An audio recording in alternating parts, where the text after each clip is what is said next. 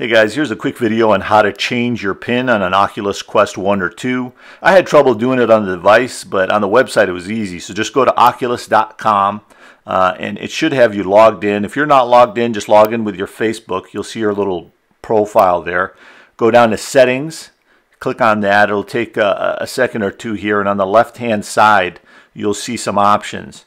And you want to scroll through them till you get to this right here, security and then click on security. And that'll take you to another page where you'll see pin. On the right hand side you'll see edit. You want to click that. And then you don't have to put in your current pin. You just click forgot pin. And that'll take you to another screen. And then you hit that button right there request pin reset. And it'll send you an email uh, with a link. I got mine immediately um, and right there Oculus reset pin you click on that you put in the new pin and you're all set Anyways, hope this video helped you out, guys. Thanks for watching. We'll see you in the next one.